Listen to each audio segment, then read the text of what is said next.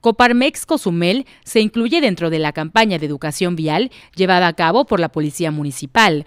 Además del sector privado, se trabaja también con las rentadoras del municipio, explicó Alejandro Tobar, encargado de educación vial dentro de la corporación policiaca. Municipalmente queremos ver la forma de que las rentadoras, en primera, puedan estandarizar sus procesos, ¿no? La entrega de vehículos, la información de seguridad vial al alcance de los turistas y sobre todo que podamos tener un control de los vehículos que estén arrendados a estas personas y que estén circulando en la ciudad.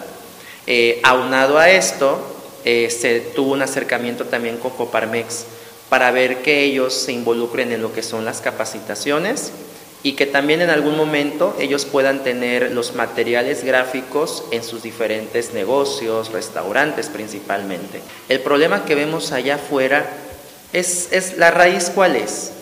Primero que nada el desconocimiento de las normas de tránsito, uno.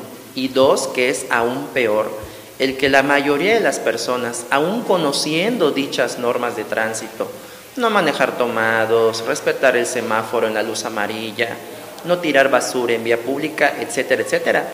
Comentó, se abordan los temas principales para evitar hechos de tránsito.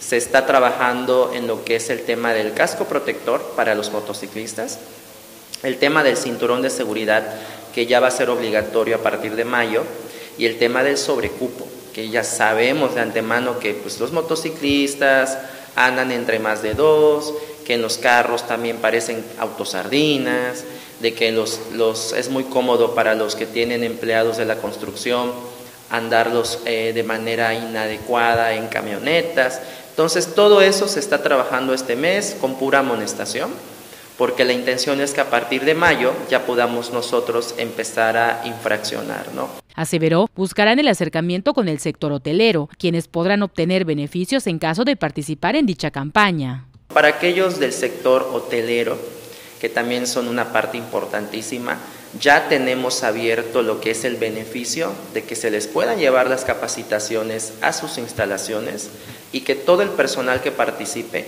pues va a acceder a un 50% de descuento en su próximo trámite, sea renovación, sea primera vez aquí en, aquí en Cozumel. ¿no? ¿Y qué es lo padre? De que a pesar de que el, el, ciudadano, el, el, colaborador del hotel, pues va a tener el, lo que es la capacitación en su centro de trabajo, pues va a tener también un beneficio económico cuando venga a realizar algún trámite. Para que se sigan sumando pues las escuelas, los hoteles, las asociaciones, las ONG que se involucren, porque realmente necesitamos para mejorar la seguridad vial, pues que todos participen.